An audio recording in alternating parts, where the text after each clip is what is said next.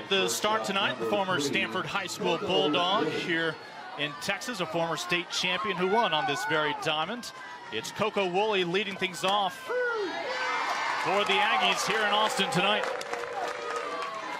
Of course, Coco coming off second team all SEC performance last year, second team all region. Part of great consistency in that infield. There might be some question marks in the outfield, but you know what you have on the dirt this year in College Station.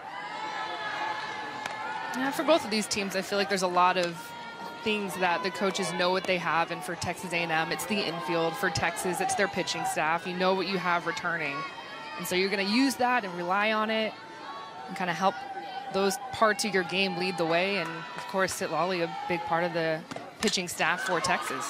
It's Katie Stewart over at first. That is a fair ball. She'll get the tag applied. Let's take a look at the rest of this batting lineup tonight.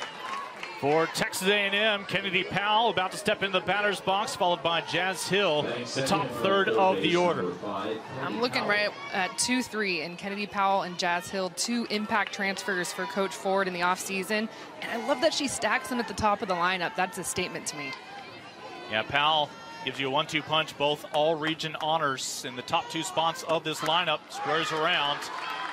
Let's see if we start seeing those corners start to cheat in a little bit unable to get the bunt down on the first try. Just talking to Coach Ford, she's very excited about what Powell's able to bring and a big offseason pickup from UCLA. Has the ability to play a bunch of different positions. We'll see her in the infield, but can also play outfield and is a dynamic triple threat at the plate. She has home run power. We'll see her show slap, can also drag a bunt for a game between two longtime Texas rivals. I feel like we're going to be talking a lot of Pac-12 tonight, including the UCLA Bruin uh, transferring to A&M here. Yeah, there's a lot of flavor on this field for sure, with all the way down to the head coaches to some transfers. And a certain color analyst as well. so one out, nobody on. Gutierrez getting the starting nod tonight. A 2.00 ERA last year. She actually was the game one winner when these two teams met in the regional for the first of two meetings last year here in Austin. Texas A&M, of course, finished their season on this diamond. This series has been close over the years. It was dead even 22 wins apiece before they met last year in that regional here in Austin.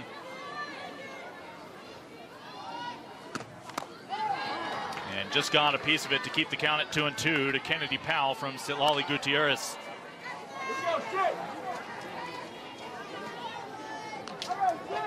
Last year, it was the sixth and seventh all-time meetings in the postseason alone between Texas and Texas A&M. And now they may not meet in regionals once they're both in the SEC, but super regional might not be out of the question.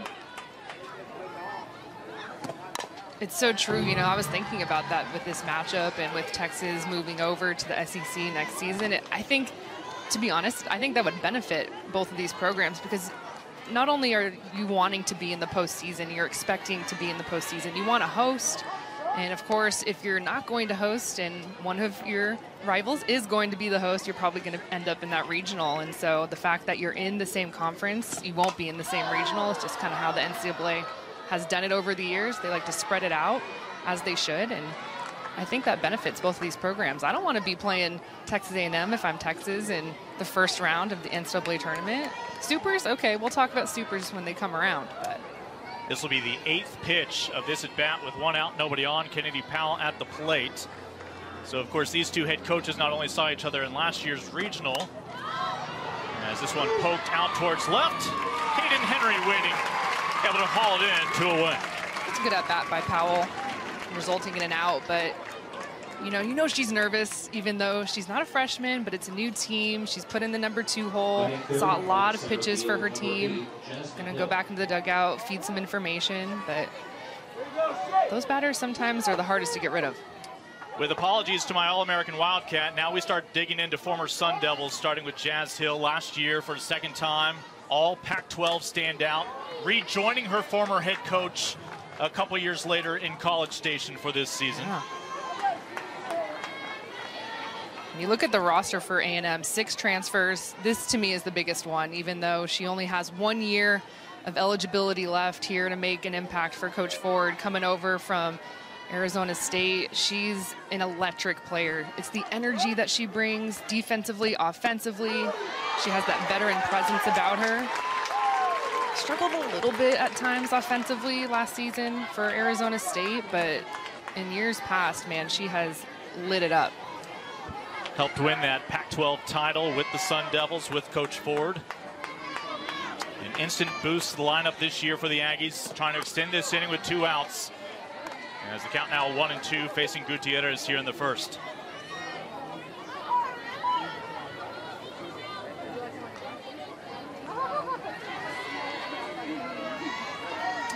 And Citlali's not messing around.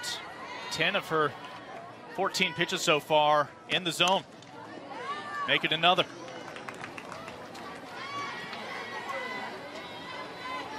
Most of her her spin is going to be up spin. She kind of throws a rise, works up and down vertically, but throws her rise on different planes. Right now, we haven't really seen her elevate like she can. She's kind of keeping it down around the zone, like you're talking about.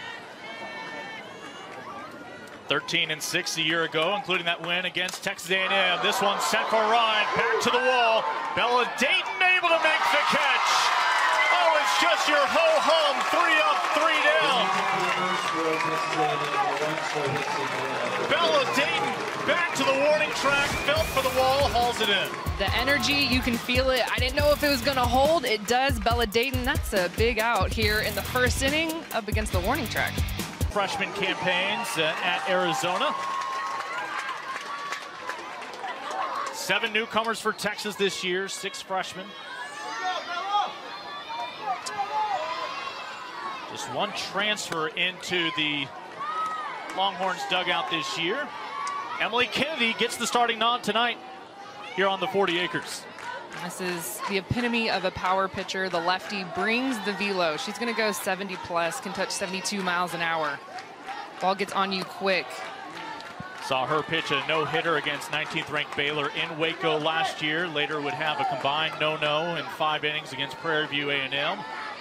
Texas saw her for four innings in relief in that game that Citlali Gutierrez won to give the Aggies their first of two losses here in Austin last spring. Uh, against the Longhorns, she would go four innings, allowing just one hit, walking a couple out of 15 batters faced. A little bit bumpier ride when she came in relief in the second outing with the season on the line. Kind of found her stride late in the season with that relief type of role. I like that Coach Ford's giving her the start in the fall. Has the ability to be a pitcher that can throw a full seven, you bet. And so that's what fall ball's about. She started last season as a starter and then Coach Ford kind of said, you know, no, we need to have her as a reliever, different mentality. She obviously throws hard. She's one of the harder throwers in the country, and she kind of found her her niche there. Wound up going 12 and 5 on the year with three saves, a 2.47 ERA. And Bella Dayton not doing her any favors there as the count now goes full to the leadoff hitter for the Longhorns. When she does get in trouble, it's just a location and sometimes can be, as pitchers we call it, effectively wild. So she can be around the zone at times. So you want to be very patient in the box like Bella Dayton. The payoff pitch. And it's a leadoff walk to Bella Dayton. Hitting second and playing third base, number 10, Mia Scott.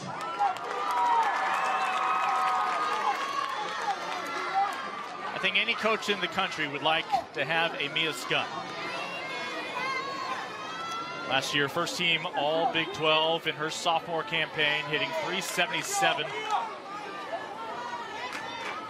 Most talented athlete that Mike White says he has ever coached.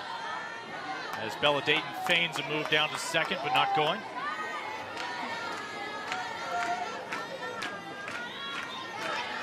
You see that a lot with coaches when they're building their lineup. They want their, I don't know, most athletic player in that two spot. She was two for eight last year in the regional against Aggie pitching with a couple of runs and a stolen base. Bella Dayton had the leadoff walk on first. Scott at the plate with a 1-1 count facing tonight's starter, Emily Kennedy.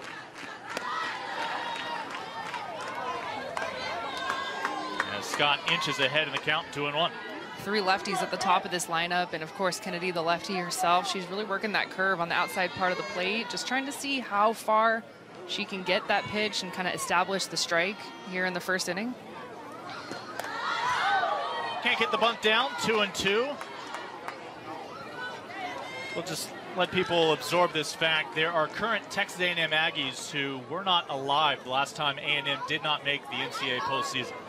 It's been a model of consistency out there in College Station. Of course, Mike White, similar results with Texas, four straight years, making it at least to super regionals now. And all of a sudden, Emily Kennedy in danger of seeing the first two batters slip away. Trying to work an off-speed pitch there in a 2-2 count. That's a call that screams to me fall development. Trying to establish something that maybe wasn't in her arsenal a ton last season.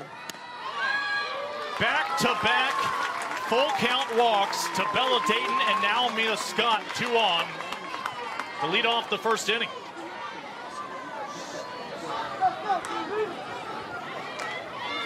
Hitting third and playing shortstop, number 23, Vivi Martinez. Here's your top run producer last year, 52 RBI. True freshmen were your top three RBI producers for Texas last year.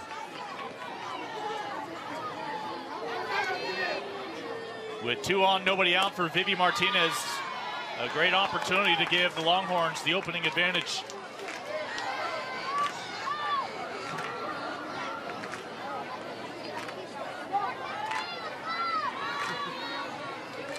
Fifty-two runs batted in, the sixth most productive season any Longhorn has ever had, driving in teammates.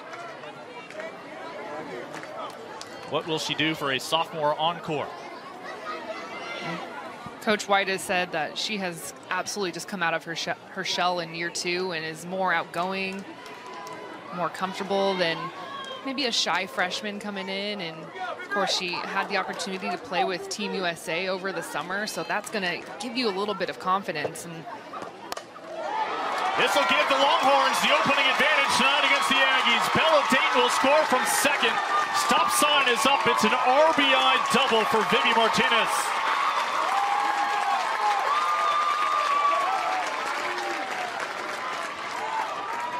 I think she's the owner of the left center gap. Every time I watch this young lady hit, this is where she hits it. And it's so pure and it's so beautiful. Sees the ball deep. Yeah, right there. That's her spot. Someone put her name out there in left center field. you know, October softball is the time to tinker. Is this when you consider putting a 10th defender out there just to occupy that gap when You Vivi bet. comes to the plate? Try some different shifts. Gives way to Katie Stewart, part of this year's fantastic freshman class. Mike White venturing up to the land of Lincoln up there in Frankfort, Illinois. And a little meeting with your battery, Julia Cottrell, the former Oklahoma State Cowgirl, now Texas A&M Aggie, talking to her pitcher. Yeah, talking to Coach White, he is very excited about the prospect of Katie Stewart. Said he was kind of found her a little bit of a sleeper recruit. Wasn't that, you know, highest rated recruit he's ever recruited, but didn't really matter to him because he saw what he needed to see. And said the ball just jumps off her bat. Two teammates in scoring position. Neither one will have a chance to go anywhere. Ryland Wiggins secures the first down of the inning, retiring the cleanup hitter for Texas. It was a good time out there from Cottrell to Kennedy.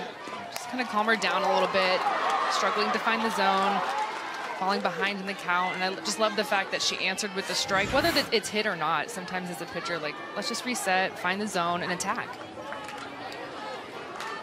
Gives way to Reese Atwood. Left side, what's the priority here? Play at the plate, need a tag, they'll get it. And they will happily trade the out, retiring Mia Scott. The fielder's choice leaves two on for Texas with two away.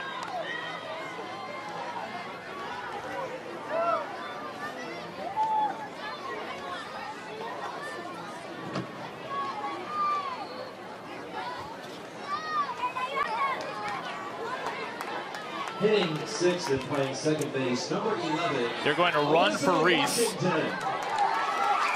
as Adea Wallace, the freshman over there on first. Again, the freshman out of Plano from Plano West Senior High School. Alyssa Washington trying to extend this inning. Texas has already staked a claim to a run on the RBI double from Vivi Martinez, now on third.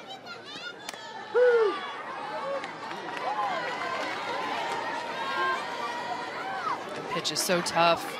Kennedy, the lefty, going in 70 miles an hour, in on the hands of a right-handed hitter.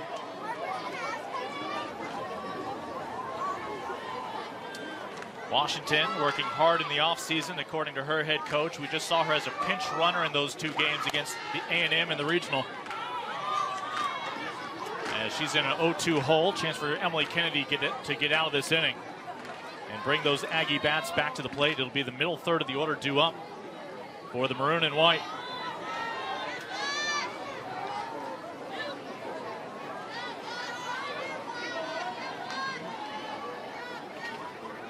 The 0-2. Right side, that's a fair ball. Martinez comes home, and they'll look to add a third run tonight, but getting caught up in the mud on the slide home will end the inning. Right, reaches out with the arm. She might get in. Day Wallace has four years to work on that slide. Yeah. Here is the aforementioned Julia Cottrell. Pride of Wichita, at her most recent collegiate stop. There's that 42 that her dad wore in high school and college.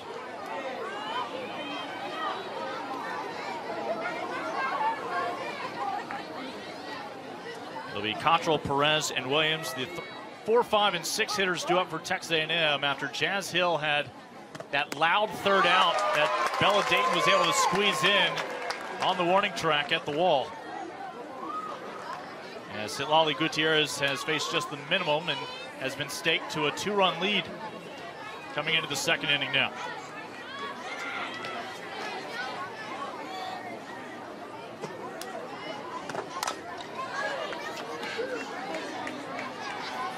Count will hold at 0-2 for Cottrell coming off a third-team All-American showing last year in her debut season with the Aggies. 23 extra base hits, including 10 home runs for the A&M backstop. Again, the 0-2 from Gutierrez.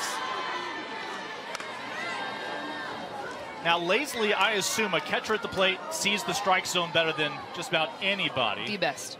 Although I would argue sometimes center field. I would always kind of, as a pitcher, I would turn to my center fielder, not only just kind of give myself a break from looking forward and just give her a little like, what do you think? What are you seeing out there? So those two, of course.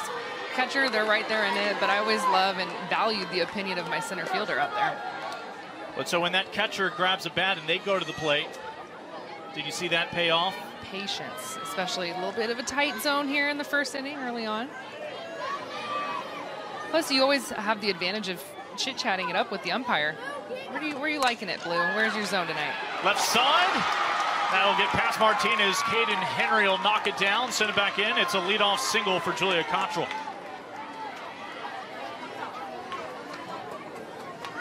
First hit of the game for Texas A&M. First base runner for the Aggies. Just a solid hitter in her senior season. Everywhere she's been, Florida, Oklahoma State, Texas A&M, she has hit the ball. She seemed destined for Oklahoma State. That's where her grandfather won a golf national title. Had some other family ties there as well.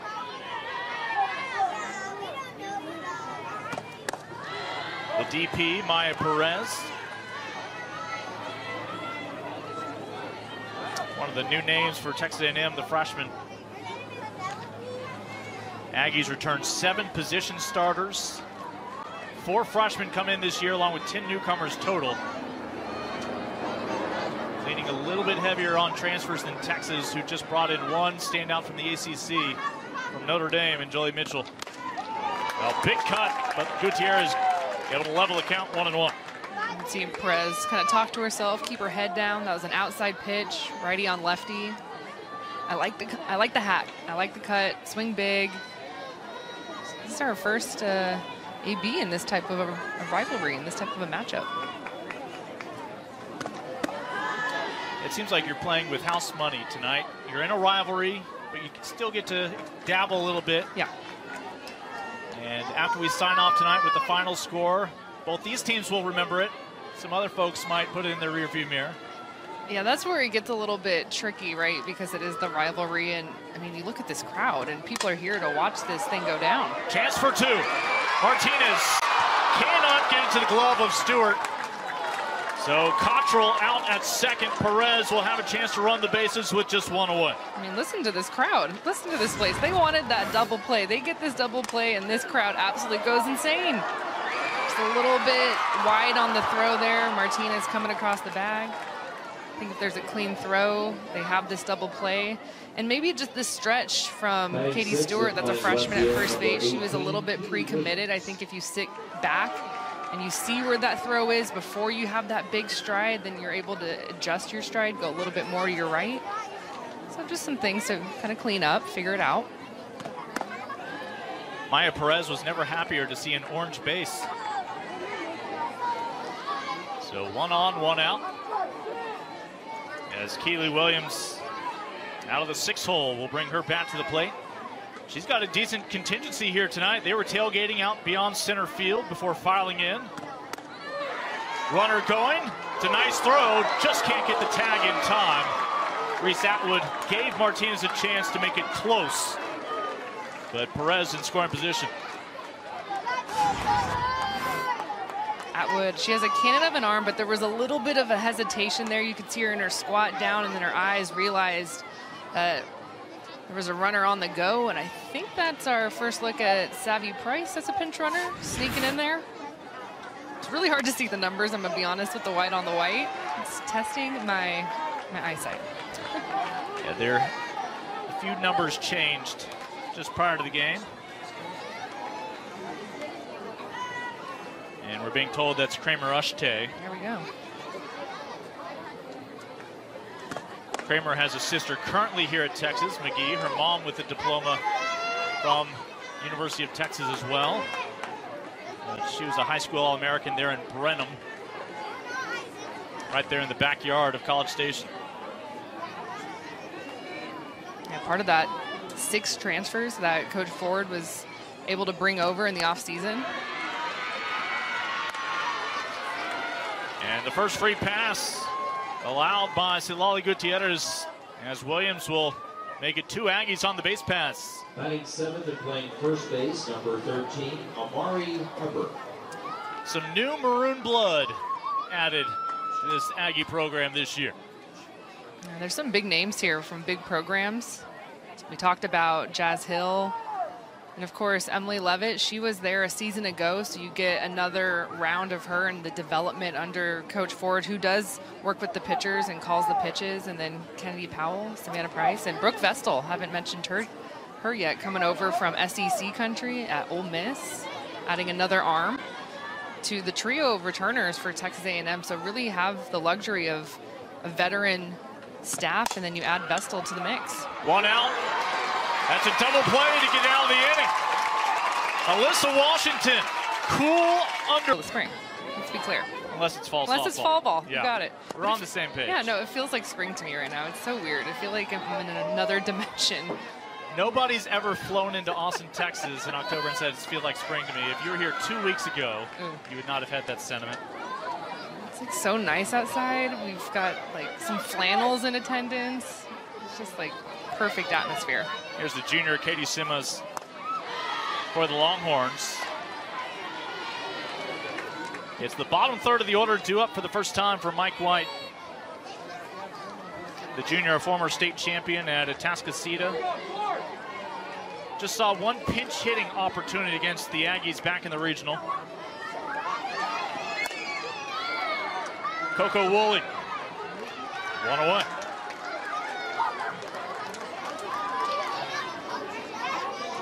Well, Kenzie, uh, when we talk about the future home of Texas, I'm going to say last year was a down year for the SEC. Only 12 of the 13 teams made it to the NCAA tournament. We've seen years where the full Baker's dozen made it into the dance. You bet. And Alabama, Tennessee, of course, making their runs to the World Series. Texas was in the re- or the super regional against Tennessee and just came up a little bit short. Of course, Tennessee with those those pitchers and they were hitting the ball so well.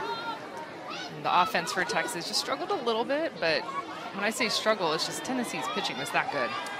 And despite how challenging the SEC was last year, the A&M program won five of their eight SEC weekends for the first time in a decade and completely overachieved. I said that in the open. I'm going to say it again. For year one, you don't really have any expectations. You're taking over a program that Coach Ford is, of course, Jo Evans, one of the most iconic coaches in our game. But the way that they were able to just kind of get right back with the snap of the, of the fingers, get right back into the rankings within a month or two was so impressive. That ball appeared to hit Maloney a second time, but you'll see simply a foul ball because of where the ball lands. Ashton last year's second team All Big 12. What was her redshirt freshman campaign? She probably had one of the better success stories against Aggie pitching in that regional last year, going three for five with a walk, RBI, and a run scored. This is your eight-hole hitter.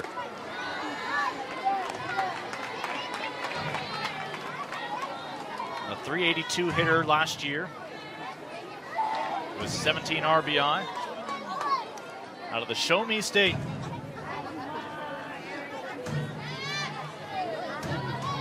Second inning of work for the Aggie starter, Emily Kennedy. 2-2, punch to shallow left, it gets down for the single. One on, one out.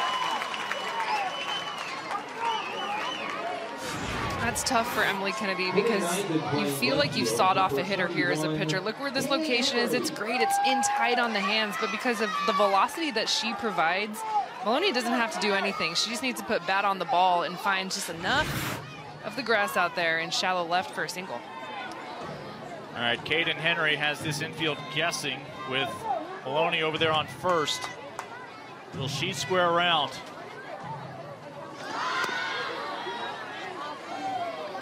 As you already saw the third baseman Powell cheating up into your screen there.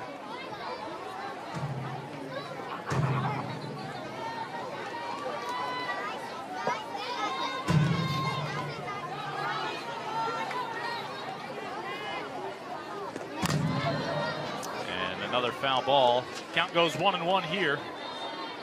The nine hitter Henry A lot of things they can do here. I'm just kind of taking this at bat in. This is a freshman who Coach White is very excited about. Her talent, has a ton of speed, shows bunt, next pitch goes slap. Put Maloney in motion over there at first base. She's got some speed of her own. Mike White drew a lot of favorable comparisons to Mia Scott. Loves her speed. Of course, Mike White uh, at the end of the year is hoping everybody is a nice balance of both power and running ability. The one-two to the nine-hole hitter. They'll do it again. It's just so impressive to me when you can watch a hitter do three different things in an at-bat. She's shown bunt, she's shown slap, and now she's swinging away with two strikes. and as a freshman, to have the, the mentality of, I'm okay to show this, that's impressive sometimes that gets too much for hitters and you want to try and simplify it instead of doing all three in that bat. Okay, let me just do do a drag here once and I'll go to my slap. Got her looking. First strikeout of the night for Kennedy, now 2 1. Lefty on lefty, working the curve. She's going up and she's going away. Look at the pitch location here. Might have been a ball off, but two strikes. All right, back to the top of the Texas order where Emily Kennedy walked both Bella Dayton and Mia Scott on full counts. Bella would go on to score before the end of last inning, the first of two runs to cross the plate for Texas. Can she extend this inning with two away? And just Maloney, the base runner on first. Oh, that almost found a gap up the middle, and the speed of Dayton will keep the inning going. Rylan Wiggins was going to cover first if needed, had to backtrack to keep that ball in the infield.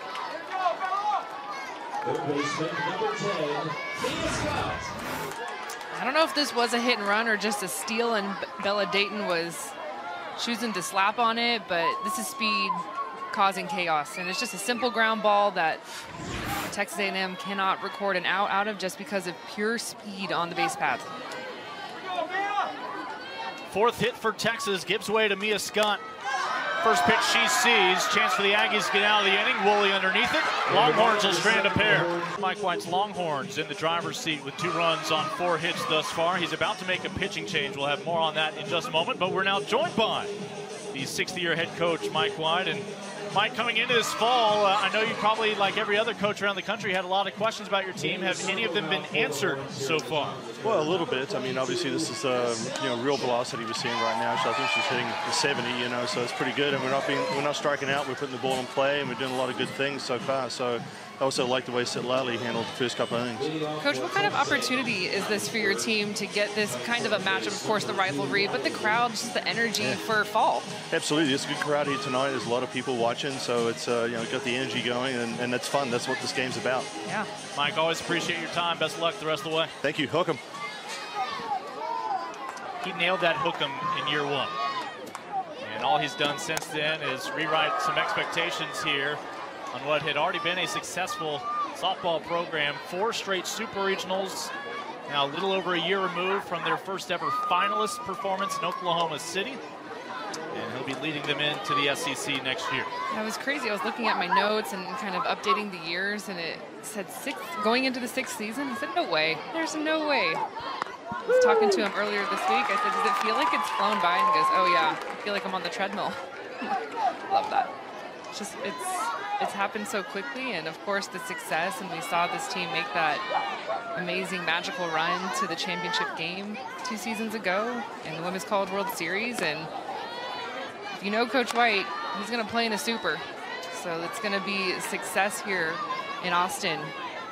And it's been fun to watch him put his stamp on this program. This is Rylan Wiggins down to the eight spot batting for the first time facing the new pitcher Estelle Czech for Texas. After Gutierrez got the start, went the scheduled two innings.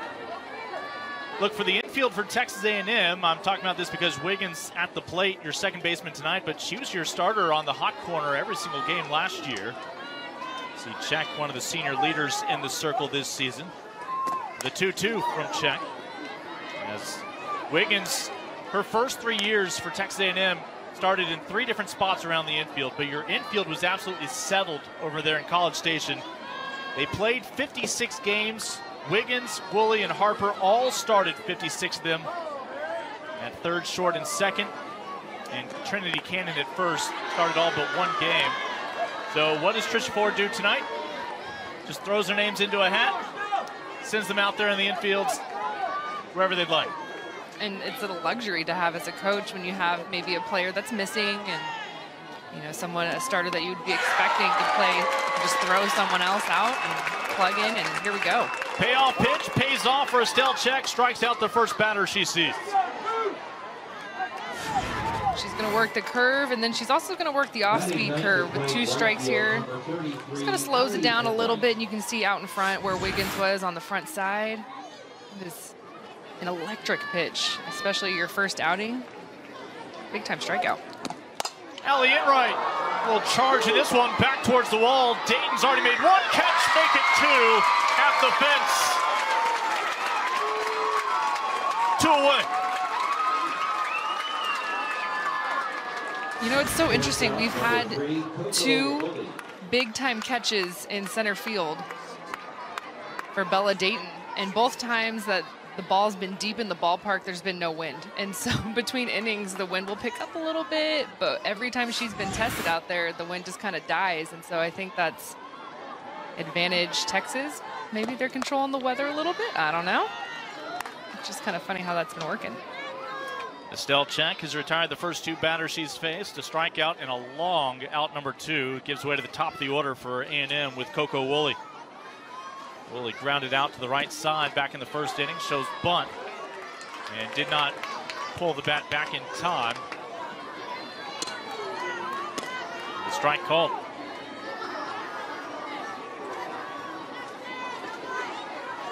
Texas A&M has been very aggressive early in the count. Trying to extend this inning, a slow roller. And that is the speed of somebody who had six triples last year and an inside the park home run, Koko Wooley. You can tell they're just trying to work the dirt.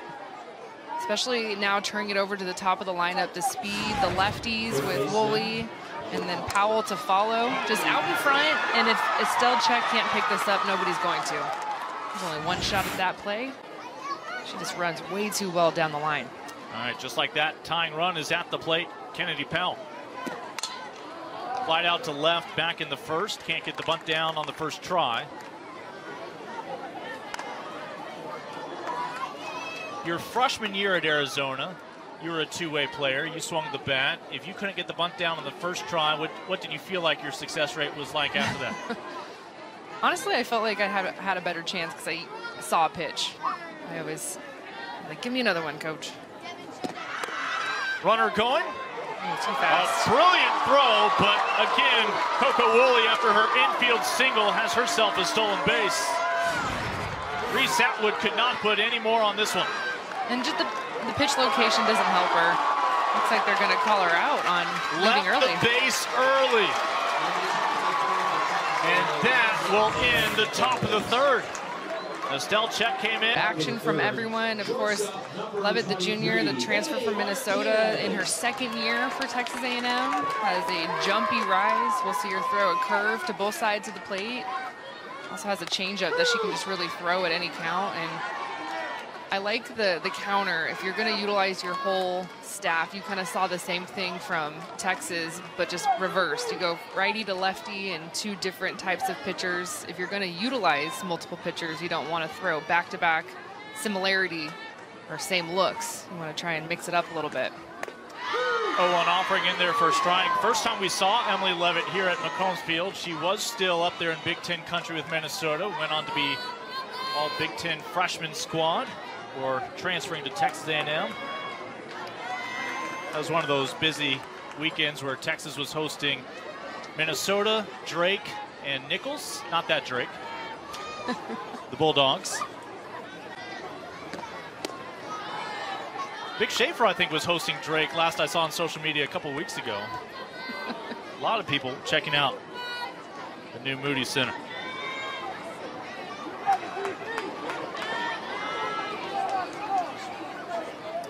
Vivi Martinez, all she's done so far is one for one, a double, an RBI, and a run scored.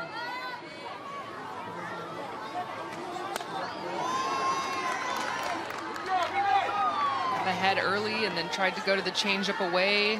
Martinez not biting and then tries to counter that with something high and in. Just not pinpoint location. And now you find yourself 2-2, which kind of means the count's a little bit more even.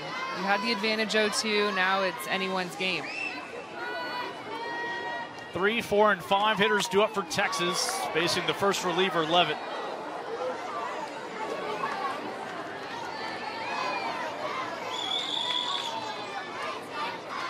Now, we were talking about Mike White, what he's seen so far. You're getting good contact. We've only seen a total of three swings from the Longhorns not get a piece of the ball.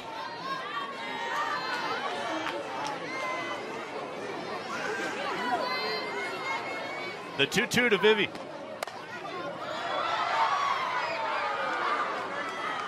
I feel like Texas have been a little bit more patient offensively, taking more pitches, kind of seeing some things early versus Texas A&M where they've been swinging earlier in the count. Very aggressive mindset. So again, Leavitt, first batter she's facing, Vivi Martinez. This is the seventh pitch. Longhorns found both of their runs in the home half of the first. And Martinez is taking a couple tight. She has such a calm demeanor even when there's some chin music coming her way. Doesn't even flinch at all. Just kind of stands in there, knows where she needs to be. Just looks so comfortable. This is what you strive for as a hitter. You just strive for comfort and, and feeling yourself without trying to force it. Takes a lot of training to get to that point. Nobody on, nobody out, the payoff pitch. Right side, that'll get through. Vivi Martinez is two for two. Just a veteran at bat. fall behind 0-2 and there's no panic. And so that's where that calm comes First in. baseman, number 20. When you have a calm demeanor and you have, of course, the ability to mash the way that she does, that's when you find yourself in the elite group. And that's why she played with Team USA this summer because that's what kind of hitter that she has become and is continuing to grow into. Katie Stewart's getting the start tonight defensively at first, so we're not going to see much of that cannon arm that Mike White's been talking about, but we are seeing the versatility she provides. And look, you feel like your roster is almost twice as big when you have that kind of defensive versatility. You can make adjustments based on the pitching matchups and minimize your substitutions. Yeah, he has a deep roster. He says it might be the deepest roster that he's had here at Texas, and you know, definitely going to still have a lot of positions that are open going into February. So giving a lot of different players the opportunity to prove themselves and you get a start. Show me what you got. I would love to know what a freshman out of Illinois knows about the Longhorn Aggie rivalry because I was listening to some recent interviews with some of the newer Aggie players and they were already referencing that orange team and that was about as far oh. as they would go with their comments. There you go. I feel like it's once you get a football season under you, it's like, okay, got it. The 0-2 up the middle. What a snag and a chance to turn two. Got it. Wow. Rylan Wiggins back to playing second base for the first two outs of the inning. Well, we were just talking about what a defensive stud that she's been her entire career for Texas A&M, playing shortstop, third base, second base. This is a huge catch. This is a postseason type of catch that we're making here in October. A little bit of a misstep on the very first step, but it doesn't matter. Her athleticism recovers. She reads it so well, and when she jumped, it was right at the right time. Shades of Janae Jefferson, something the Longhorn fans saw plenty of for several years there at second base. Yeah, Wiggins, every start at third last year. Back to second base tonight. No doubt by opening day, she'll be in the pitching circle. I feel like she's one of those players where she's got to try and get every single position down at least for an inning or something. Maybe an at-bat. Make her way around the field. Reese a little Buster Posey-esque type of thing. Reese Atwood just pulls that one left of the bag. Although if you ask her, though, she may say, I don't leave the infield. I just, this, yeah. I work the dirt.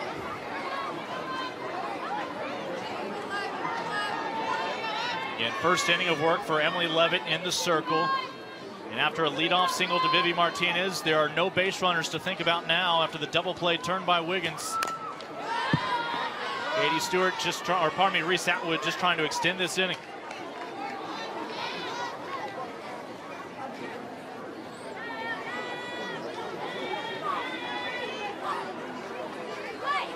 What a run that was last year for Reese. It's one thing to have three walk-offs in a season. In a career, to be honest. but due to lack of originality, she just kept doing it one game after another. So we'll hang up there. Enright coming in, but guess who? The third inning belonged to the leather of Rylan Wiggins. Well, this one was a little bit more exciting than that last pop-up. A little bit of a drop step, and then the can. Will be the two, three, and four hitters due up for the Aggies, who have no runs on a couple of base hits tonight. One hit off of each of the two pitchers they've seen, and Gutierrez and Czech from the Longhorns. And back to your all-region standout, Kennedy Powell. Got the bunt down. Well executed. A freshman in the circle defending her position First batter she faces gets the out. And this is something that you work on at practice every single day as a pitcher and getting the bunt and having to lead your defender, your second baseman. And as a freshman, sometimes this throw is a little bit hard. You have to kind of figure out how to be slow with it, trust that your team's going to be there, and made it look easy. Back to Jazz Hill, who had that deep out to center back in the first inning. And ultimately, Lali Gutierrez got the Aggies one, two, three. Aggies twice today have had warning track power for some loud outs.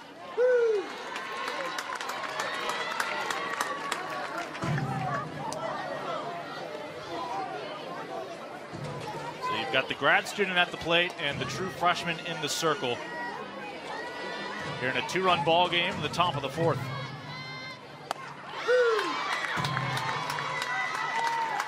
I like the rise that I'm seeing right away from the, the rookie in the circle. It's got some jump to it. Back when Jazz was a freshman, one of the best freshman years statistically in the nation back in 2020. 37 home runs now in her career. 137 RBI on that resume, a 318 hitter. But last year, a little bit of a down year, a 220 campaign. Still able to conquer seven outfield walls with that bat. This was all the way back in the first inning with two outs. Or part as here in the fourth, a big cut, and she's down on strikes. Two up, two down. Catcher number 42. telling you, I like this rise ball. Jumping through the zone, you can tell she's feeling good about it. You strike out the You don't think number three batter against the rivalry.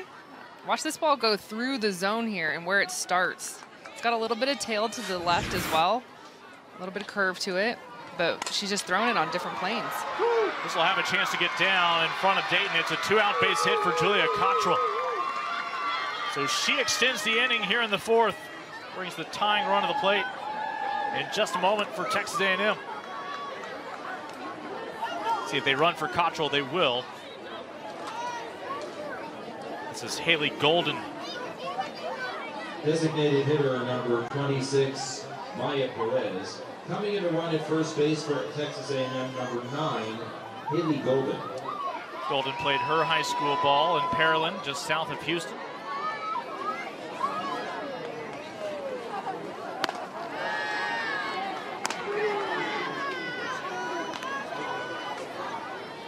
Perez reached on that fielder's choice back in the second inning.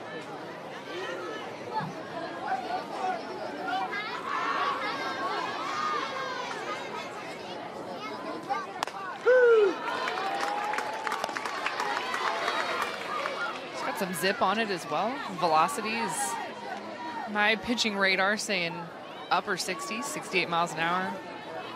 Just it seems very natural too. She's got a very loose arm. Jared Arrington's our home plate umpire. And looking for back-to-back base hits into the shallow outfield.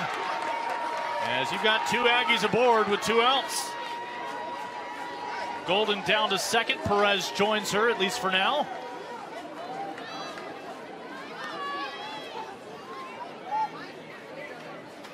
Left fielder number 18, Keely Williams. And that makes way for the San Antonio native. And Keely Williams out of Cibolo, Texas, went to Converse Judson High School. Last year as a freshman, a 307 hitter as she faces the new arm for Texas, Teagan Kavan, who retired the first two batters. Running at first base now for Texas A&M number 19, Scout Lovell.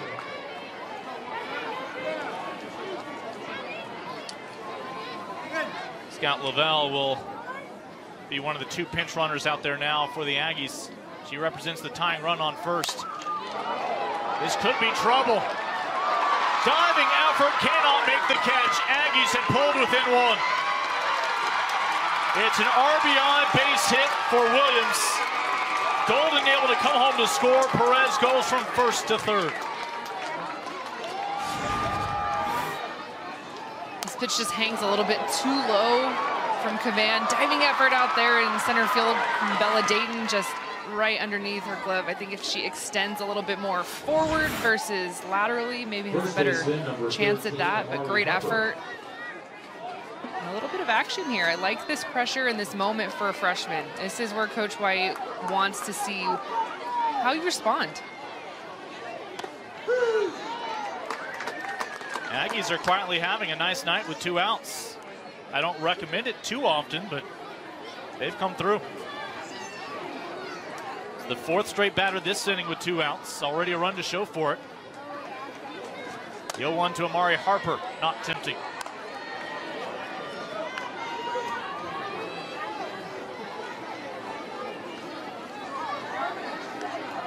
Harper last year, again, among those everyday starters in the infield when she was your second baseman every game.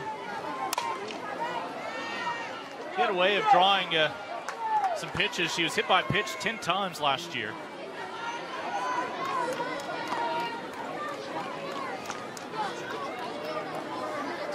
Go on to be third team all region as a middle infielder for the Aggies. She faces Teagan Kavan here, facing her sixth batter of the inning. And there's that elusive second out, but not before the Aggies strike for the first time tonight. The RBI, of course, made it to her third Olympic Games in Tokyo a couple years ago. On behalf of the red, white, and blue. Yeah, Jennifer McFalls, before she got the job at Kansas, was an assistant coach right here for Connie Clark in the Longhorns. Yeah, she's doing big things at Kansas. Has kind of, you know, taking a page out of Coach Ford's book and what Coach White had to do six years ago, where you have to kind of put your stamp on something and rebuild a program. Second inning of work for Emily Leavitt. Past the diving glove of Powell. And it's a leadoff base hit for Alyssa Washington. She gets to run the bases for the first time tonight.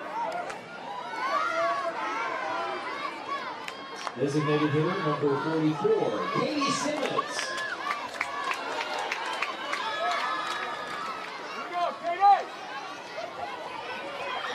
Katie Simmons led off back in the second inning, over one today with a ground out.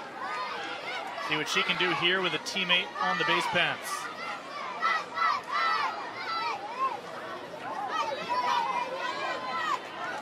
Longhorn leadoff hitters have reached in three of these first four innings now. But their only two runs came in that first.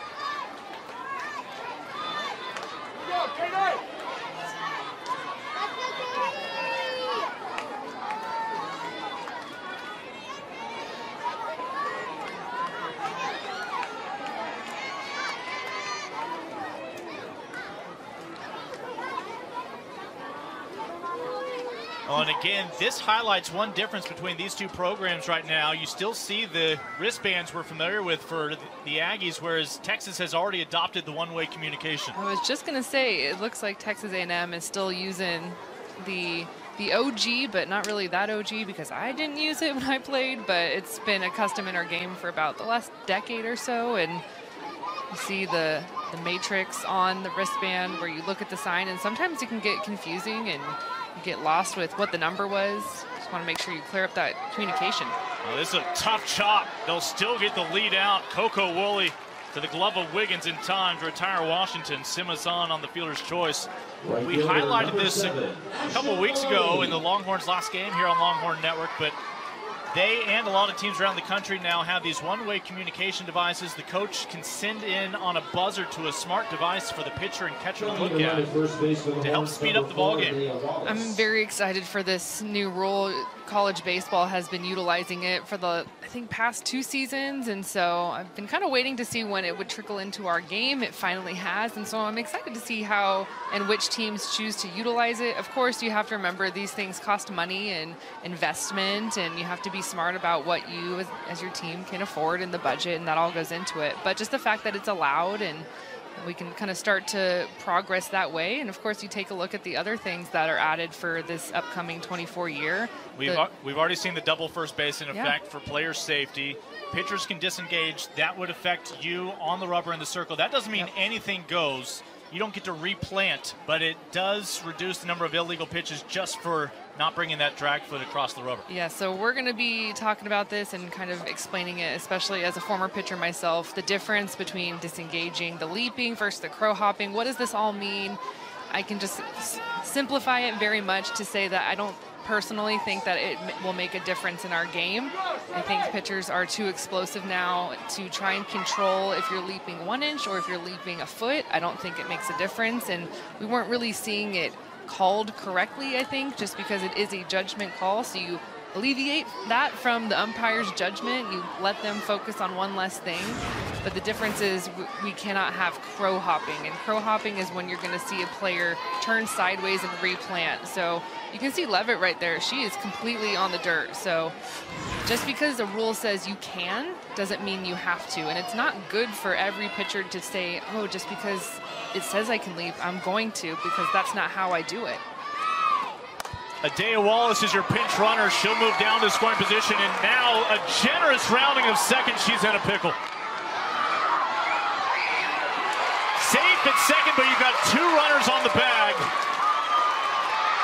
And now a chance to maybe erase them both. And Wallace, and another jam is out.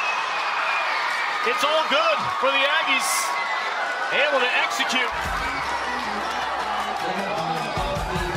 For those of you scoring at home, this is when you tear up your scorecard. And there was nothing she could do at home plate. Just watch her teammates run back and forth, back and forth. All right, our boy Kurt is showing off. If you are scoring at home, we'll, we've got questions, but here's one answer. It's a 9-6-5-4-3-3-6-5-4 double play. It sounds like um, you're reciting pi. Is Yeah. that what it just sounded like? I'll uh, 3.1415. This is number 15, Kramer Eschete. Well, I can tell you that both teams are going to go home and watch some film on that one. For Texas, what went wrong base running? Because the first thing was that Wallace broke a little bit too early. Okay, you get out of the pickle, you're safe at second base, and then Maloney was going back. Wallace should have just stayed. You don't want to make two errors in the same breath as a base runner. You just want to be happy with being safe. Eschete, the former Raging Cajun, retired, facing Kavan.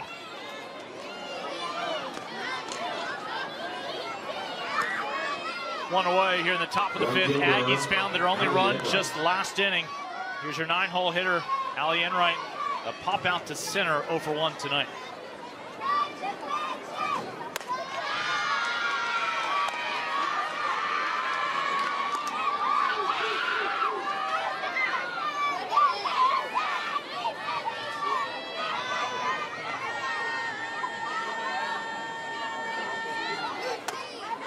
Enright last spring in the regional, one for three with an RBI and a walk. Wrapped up the season hitting 210 with four home runs in her first year since coming over from Arizona.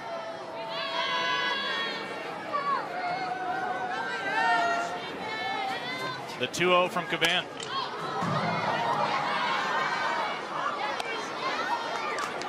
Here's what I love. Admission was free tonight, and we have seen almost 900 people take advantage of that. But we still see fans who their favorite spot is just leaning over that outfield wall. That's where they are accustomed to taking in all the memorable moments here on the 40 acres in the spring. They wouldn't have it any other way with that vantage point here tonight.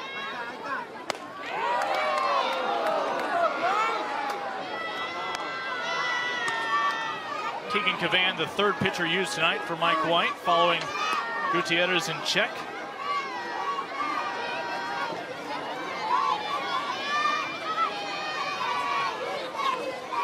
The 3-1. They'll do it again, full count.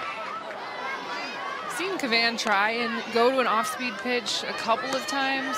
You can tell it's something that's still developing for her. She's throwing that rise, starting it in the zone, working it low, and then getting ahead, letting it run a little bit higher. The reason I say that is because I'm thinking changeup in this count right now, and so if it's not a pitch that you're super comfortable with, you're not going to throw it. But again, this is fall. This is a time to try it and see what you can get away with and see what you're confident with. She has struck out the last two batters she has faced. One out here in the fifth.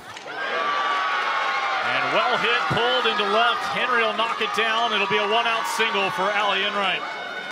That'll turn the lineup over for Texas A&M. Just sitting really nicely on this pitch that's up in the zone and gets on top of it. So smooth right there. Watch her her level swing. Look at her hands.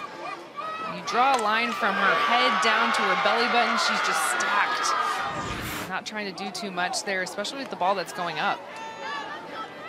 Well, let's see if Koko Wooley can redeem herself for what's been a ho-hum night so far here uh, against Texas. But a, a double play turned, uh, a couple of others robbed of base hits. Koko in the leadoff spot for the Aggies again. Tonight, one for two offensively. No doubt a fan favorite. A throw behind the runner Enright. It's the right idea there from Atwood. That's exactly when you want to pick when a runner's at first base and the batter showing sacrifice bunt. That's usually when you're going to get a generous lean. Just the throw and the catch wasn't executed. Count two and one to Wooley. Kennedy Powell on deck. Wooley, the third bat of this inning, following up Allie Enright, who singled with one away, still standing on first.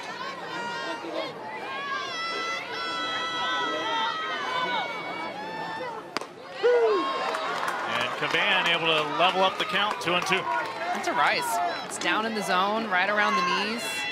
It's got up movement, and you see that as a hitter, you kind of give up on it because it's low in the zone, and then it just broke right up at the last second. Dayton, two away.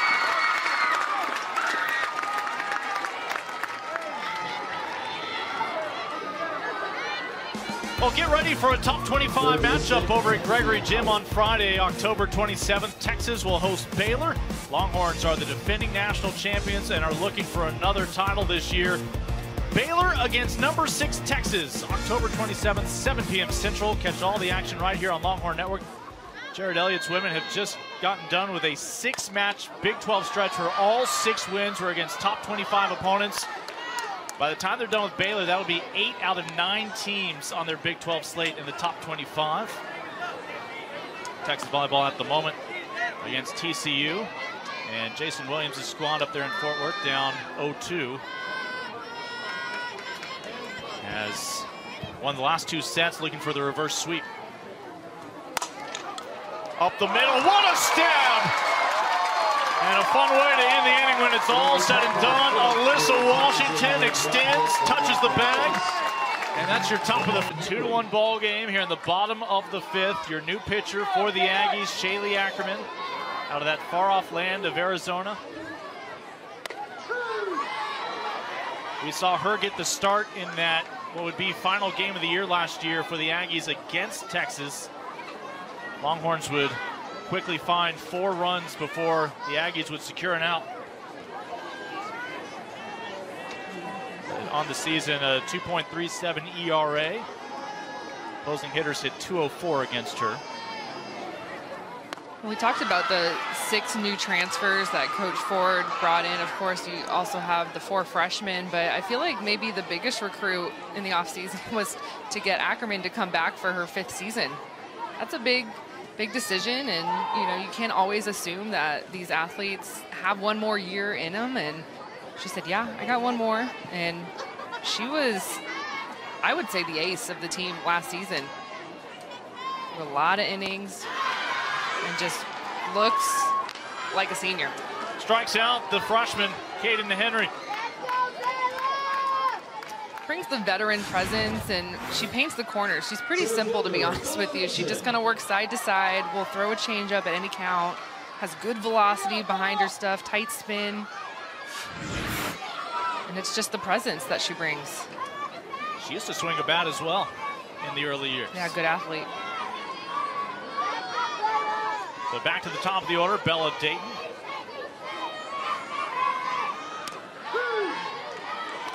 Bella tonight, a walk, a run scored, and a single as well as your top spot in this lineup.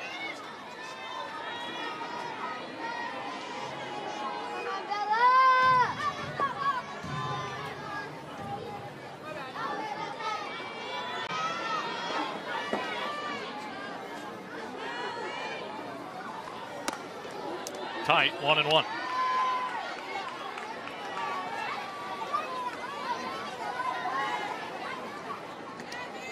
In spring of 2025. Will it be in Austin or will it be in College Station when these two teams collide for three straight days in an SEC weekend?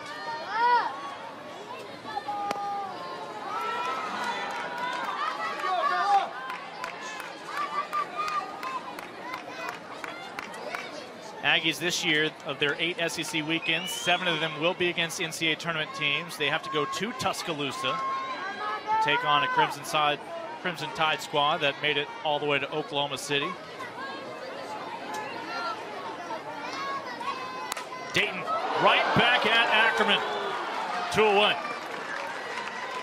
I just like the fact that both of these coaches, you know, you put away or put aside the, the rivalry and you know some some coaches may say no I don't want to do that in the off season we want to save it for in season or I don't want to give an extra look well both of these these coaches know what kind of schedule that they have waiting for them come February on both sides. Very strong schedules. Texas will be playing UCLA in the first couple of weeks playing at Clearwater. And if you have the ability to say, hey, Coach Ford or hey, Coach White, what do you think? We get together in October and throw it around a little bit?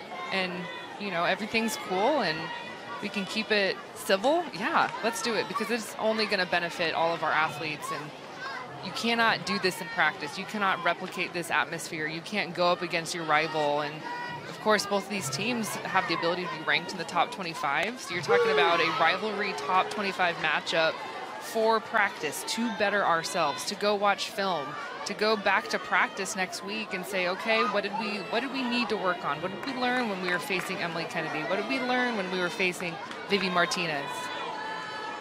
Let's watch that base running clip a little bit. Okay, let's rep it out a little bit in practice here. Joley Mitchell at the plate for Texas. Her first chance to swing a bat tonight. The transfer from Notre Dame, standout in the ACC, the only transfer who was brought into the program this year. And she has two years of eligibility remaining, including this spring. She bats in the two hole in place of Mia Scott. Koko Wooley. Middle of the infield's been solid for the Aggies. They get a three up, three down inning with Ackerman in the circle in the fifth. Those are two upperclassmen getting it done. I'm worried, though, the folks in Bristol, if we start trending with hashtag SC Top 10, know, they're, they're going to say, this can't be right. Softball in October. When I said that, I was like, oh, but hey, let's shoot for the stars. You know, see what happens. Throw it out there. It's a brand new battery for Texas. Sophia Simpson in the circle as Katie Stewart behind the plate now. After getting the start over at first base.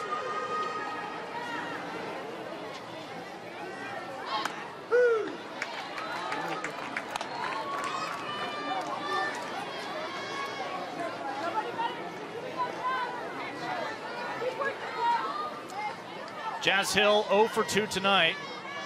She was the victim of the first potential highlight defensive play we saw back in the first inning.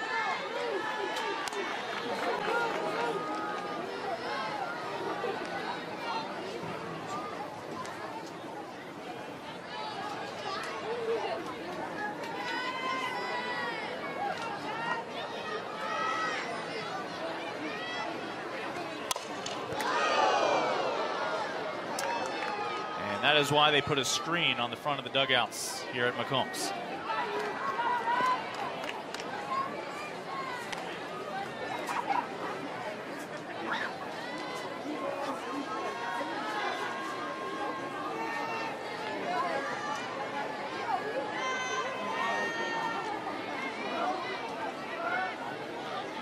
Two-two from Simpson.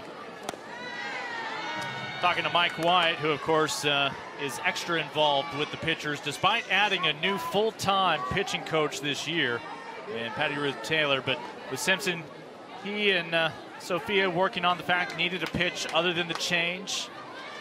But certainly she doesn't have to worry about her rise ball, one of the best moving rise balls on the staff. That one just fought foul. Count remains full.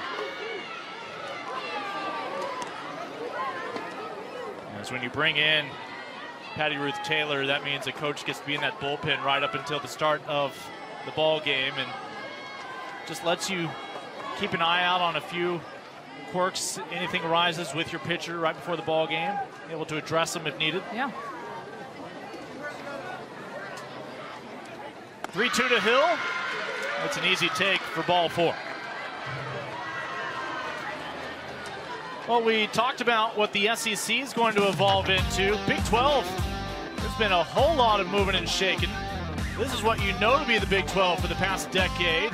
This year, we've already injected a couple sets of Cougars, some Knights and Bearcats. And then, oh, by the way, Tucson, the land of Kenzie Fowler, is about to become Big 12 country along with those rivals, the Sun Devils, former stomping ground for Trisha Ford before she took the job with A&M. And well, the whole state of Utah, it seems like, along with Yep. Colorado. I feel like I need to save that map and study it a little bit. It's going to be a lot of change for everyone in just the landscape of sport of softball next year. We're about to find out pretty soon if Deion Sanders has daughters who play softball. Hey, I've been calling for a program at Colorado for I don't even know how long, probably before I played at Arizona.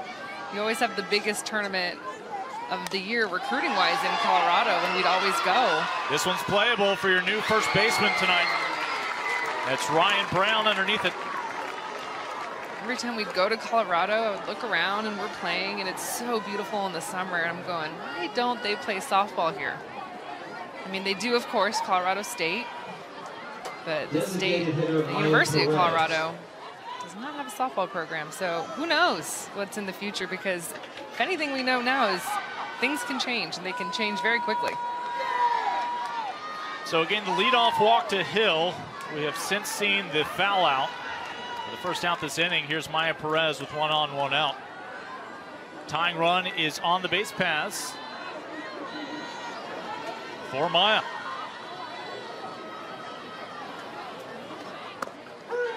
Boy, the freshman could have a moment here against uh, that Burn Orange team.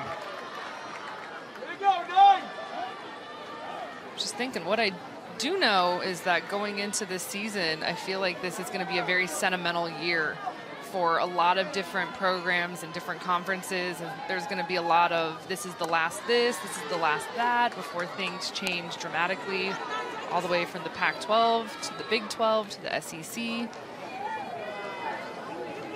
And so it, I don't know, it's just one of those years where I'm going to have to really like take in a lot of matchups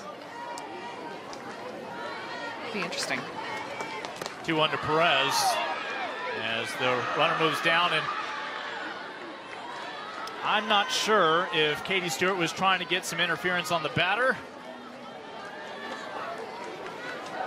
But ultimately, you're going to have a runner in scoring position. That's the tying run now in the form of Jazz Hill.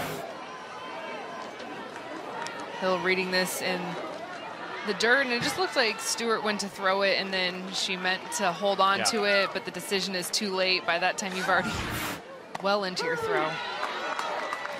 Yeah, just tried to slam on the brakes, and the ball didn't behave. We talked about uh, everybody's sad that it might be the last. Of course, Texas and A&M went through that several years ago when A&M moved to the SEC. And they'll be reunited in the spring of 2025. Again, the payoff pitch, tying run on second. Now the go-ahead runner aboard as well. Maya Perez gets to run the bases for a third time. It's a great at bat by a freshman. Very patient, saw a lot of pitches. They will run for her. That is an important run. I believe this is Eschete once again. Coming in to run at first base for Texas A&M, number 15, Kramer Eschete. And Eschete is one of two former Raging Cajuns, along with Kylie Griffin on the Aggie team this year. They made it to that Seattle Super Regional this past spring against Washington. Probably the most dramatic regional that I've ever seen. Well, for those of you who are uh, playing a game of two screens to watch softball and volleyball, Longhorns, I'm going to pause for a moment in case you, you prioritize softball and don't want the spoiler for volleyball. Jared Elliott's women with the reverse sweep, able to win it in five. Whoa. That was the one non-top 25 matchup. Jason Williams has done a fantastic job up there in Fort Worth with that volleyball program after being the longtime assistant in Waco with Baylor. Baylor Bears now are next up for Texas. A reverse sweep in volleyball is like one of the most electric things in sport. It's just I don't know how to describe it. It's the momentum shift from going down 0-2 to have to winning three in a row and just watching. I feel like it's more of a collapse of the other team than anything, but I just feel like it's one of those electric things in all sport. 0-2 to Williams will short hop its way home. Last time Williams was up, the RBI single that brought home Golden, the only run so far for the Aggies. That was back in the top of the fourth inning. And this inning, your new catcher and Katie Stewart behind the plate. Simpson in the circle. This one's foul and out of play. Count will hold at one and two.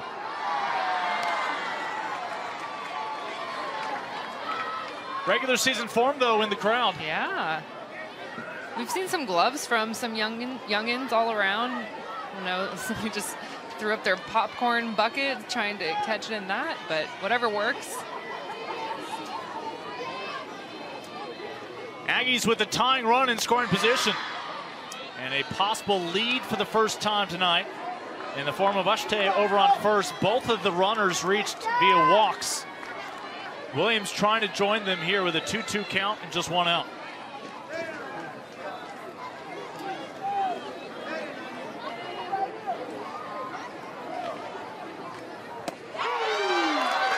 Yeah, she knew it.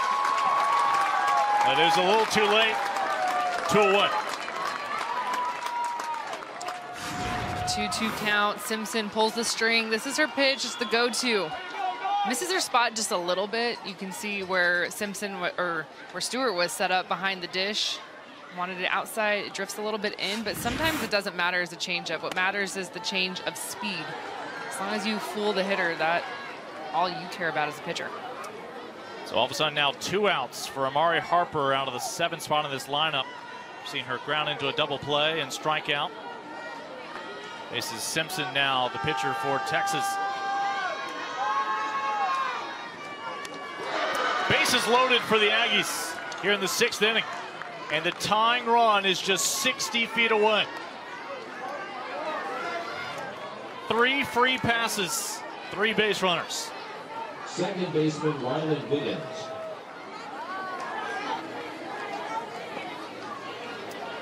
And before Rylan Wiggins sees a pitch from Simpson, they're going to have a meeting in the infield.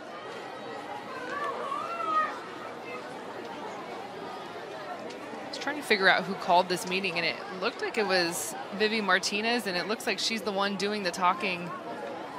Shortstop, you can see her right there talking to Simpson, and to me, that is more important to Coach White, to be honest, than anything. The growth of the freshman, now a sophomore, anchoring that position, calling the timeout, recognizing the moment that Simpson needs a little bit of a break, and that is leadership development. That's huge. And you just wonder if she took that next step after her time wearing the red, white, and blue in that Japan All-Star Series. Bases loaded. Aggies are threatening to find their first lead of the night.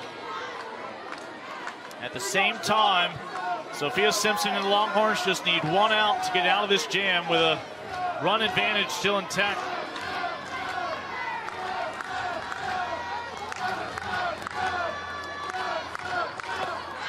Wiggins, the sixth batter of the inning.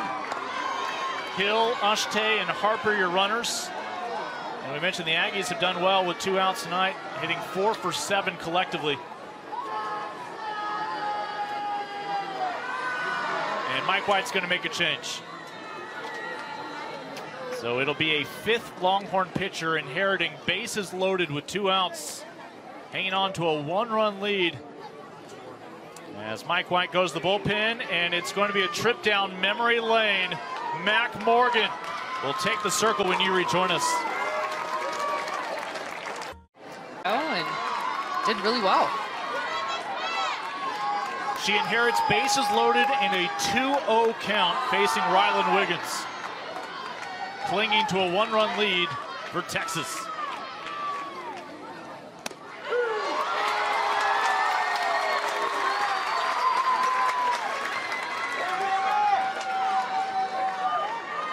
Oh, by the way, Mac also had a combined no-hitter in that regional against Seton Hall. Not sure which win will stand out most for her. Three and one. All three base runners reaching on free passes, two walks and a hit batter with two outs here in the sixth before the pitching change.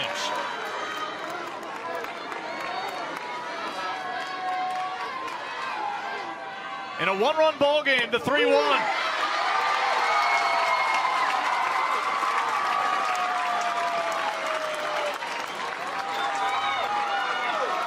It's just fall softball on a Wednesday night in October.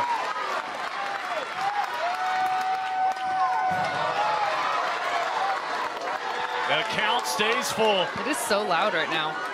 I can't get over this.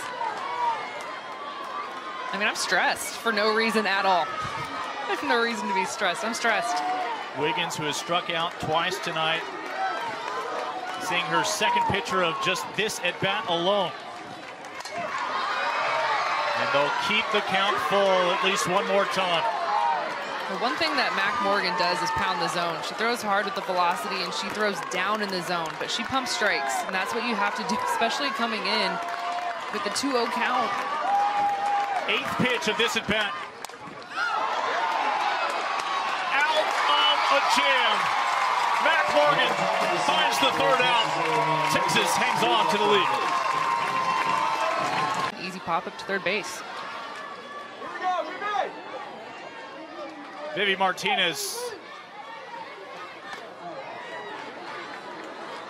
Probably the softest spoken vocal leader of a team.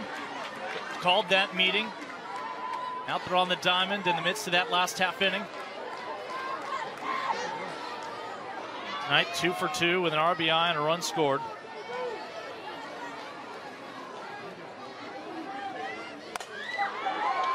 Make it three for three.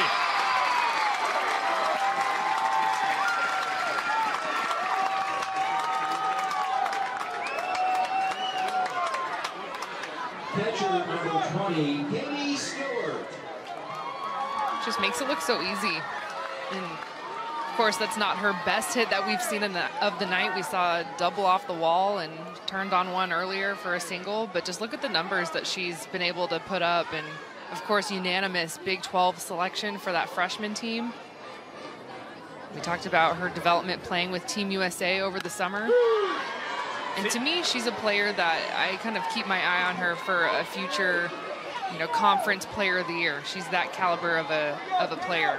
Whether Which- that's Big 12 which or? SEC, Yeah, I don't know. that's my question. yet to yet to see, but she has the opportunity maybe to do both. I don't know.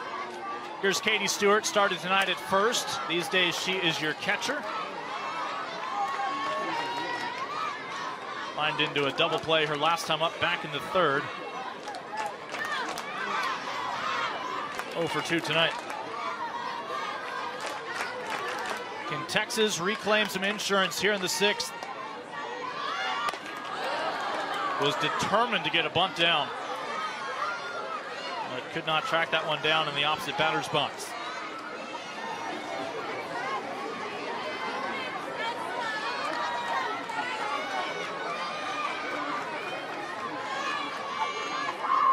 Ryan Brown is on deck. One on, nobody out for Texas. Count stays at one and two.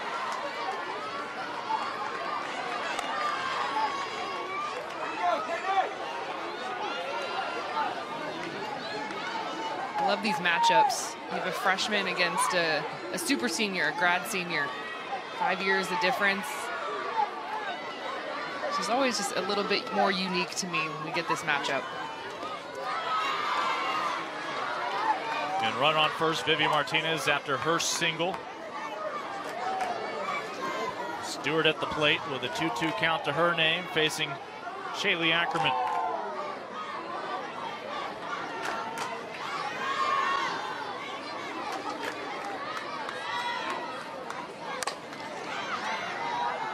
White thought about a barehanded snag.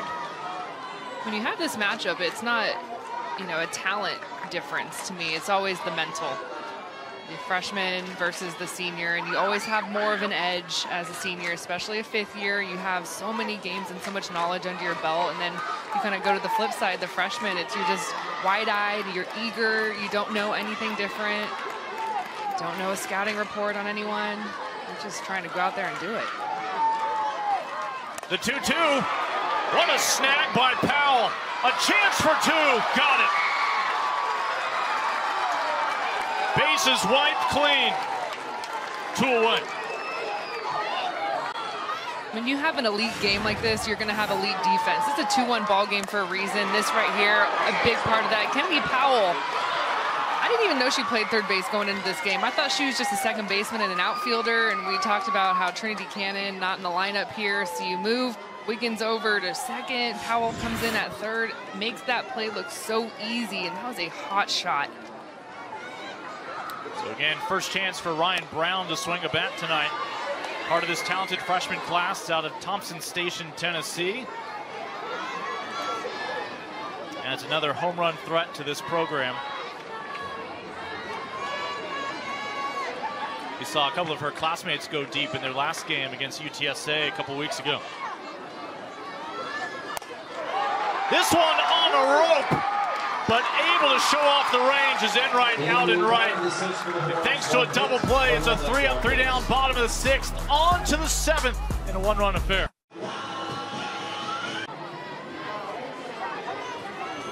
Allie Enright who will lead things off. And she absolutely crushes this one. It's gone. Brand new bowl game. Allie Enright will touch them all. And let me correct myself, that's Ayana Coleman, the pride of College Station.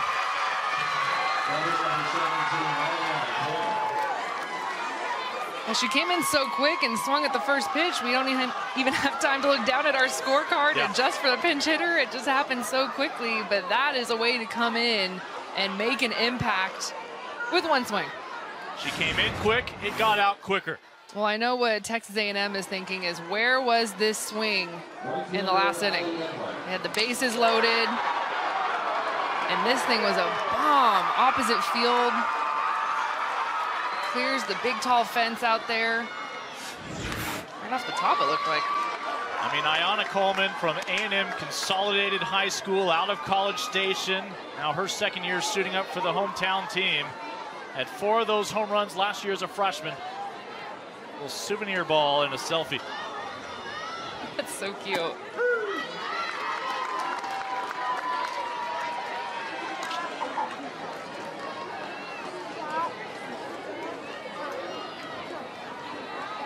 And for the first time since the bottom of the first, we are tied.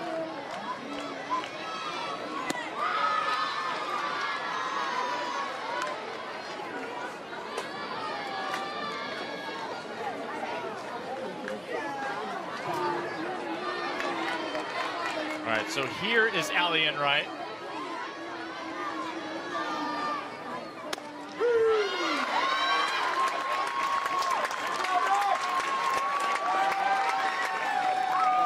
Just a moment ago, Texas A&M tying it up. Oh, look, Coach Harger at third base isn't even set, so I'm not even feeling bad about not knowing who it was at the moment because everything just happened so quickly. Coach is running out there, but Coleman says, while you guys can figure it out, I'm going to jog around the bases. So line to Martinez, able to squeeze it on the fly. Two away. Third baseman Kennedy Powell. Feel like A&M all night, though, has been very aggressive early in the count. Their, their hacks have been big, they've been intentional, and it just has taken a couple of innings for them to kind of get going.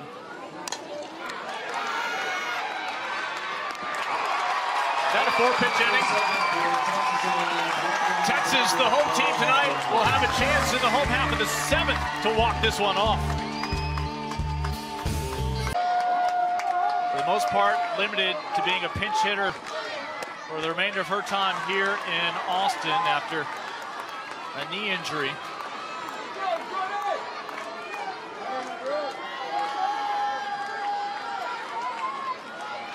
Batting for Alyssa Washington.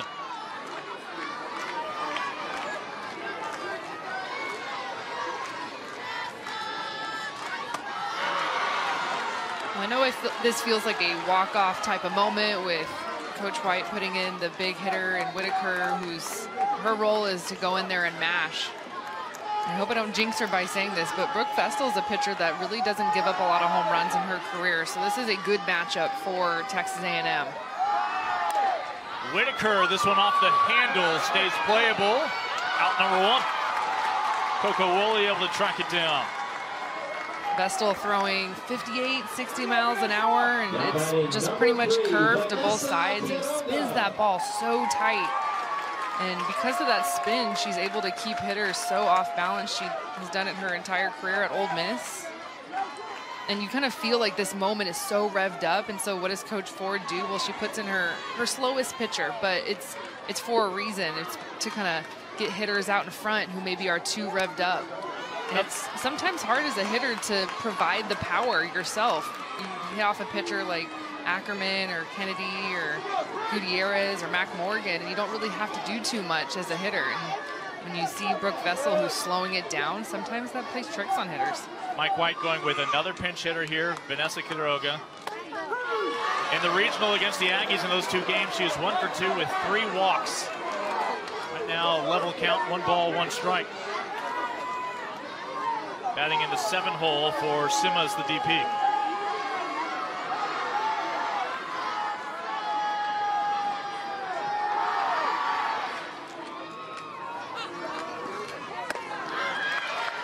Not going to do any favors for Vestal there. I like the theme from both sides as well. We're seeing so many defensive players and pinch hitting opportunities. Both teams have utilized both their whole staffs as a whole. We've seen every single pitcher possible. That's what this is all about. 2-1 from Vestal. Just cannot convince Quiroga to chase. Yeah, she's working that backdoor curve righty on lefty matchup, and she's just kind of missing her arm slot, throwing a little bit too much off of off of her hip. And the ball's kind of drifting too far to the right. Aggies tied it up in the top of the seventh. The count goes full with one out to the pinch hitter, Quiroga, who represents the winning run. Now, my question is, if there is a walk-off, are we calling it? Because in fall ball, you just never know. Well, There's just I, different rules. I want to point out we were probably going to see a bottom of the seventh regardless of whether Right. the Aggies scored in the top, but Right. all of a sudden it feels a little bit different. Do we end in a tie? It's TBD. We'll find out with you guys. I just think these are the only two teams in the country who would not allow it to end in a tie. That's a fair ball off the glove of Powell, able to recover in time to a win. She was not flummoxed by an initial miscue with the glove. Batting number 27. And we've seen her make a couple good plays over there at third base, getting it off the transition from the ball on the ground to throwing it across the diamond. So key, just by a half step. Another pinch hitter for Texas. It's Bailey Brandon, former LSU Tiger, hit 300 last year with the Longhorns.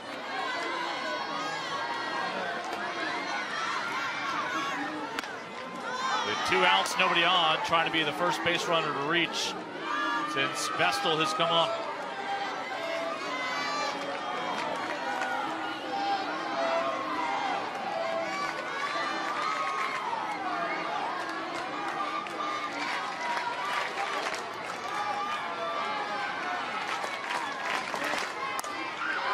One zero. That's it for the bottom of the seventh.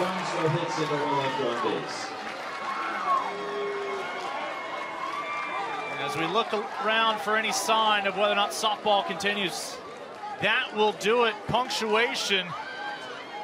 And they're going to have to let it linger until 2025. Oh man, these these fans are going to be on the edge of their seats until February because that was a phenomenal softball game from Texas and Texas A&M. We're talking fall ball in October, and that's the product on the field that we just watched.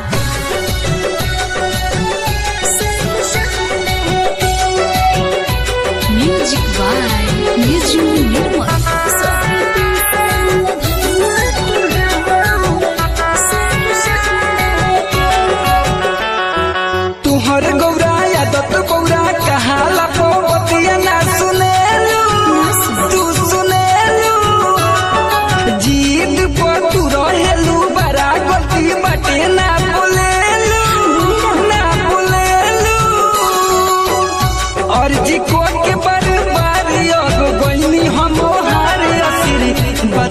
চলে